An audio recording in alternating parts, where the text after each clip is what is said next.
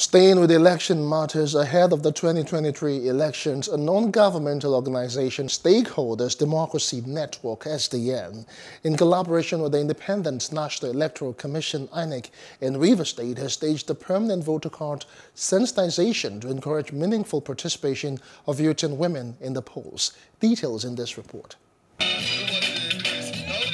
Nigeria has recorded a sharp decline in voter turnout in the last two general elections, as well as the off-cycle polls conducted in some states over the years.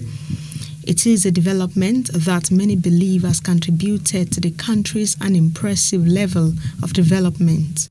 In the light of this, a group, Stakeholders Democracy Network SDN, launched a continuous voter registration and permanent voter cards collection campaign in Rivers State. The sensitization campaign is aimed at boosting the level of voters' registration and turnout in the country.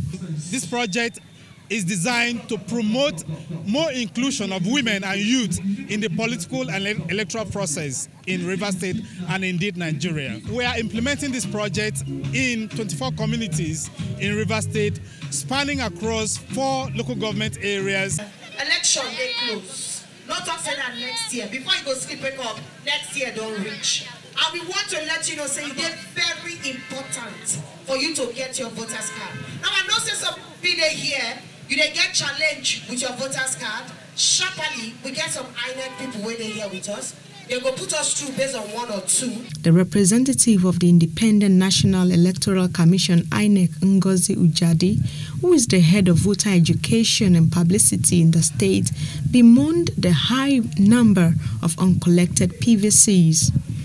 Ujadi advised residents against double registration and called on eligible voters who are yet to register to come out en masse to perform their civic responsibilities before the close of day. Come out in mass. As you get your PVC, that be your power where you go take vote.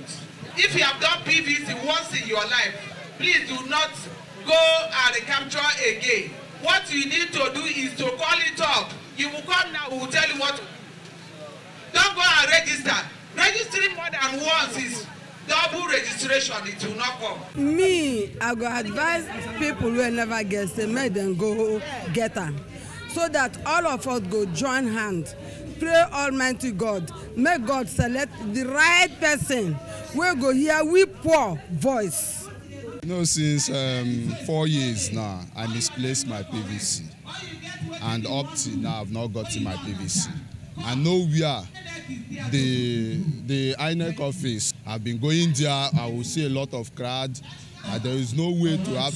While urging Nigerian youths to shun thuggery and violence capable of disrupting the electoral process, Ekon reiterated that the PVC campaign is to encourage women, youths, the physically challenged, and eligible voters to participate in the election to transform democracy and governance in the country.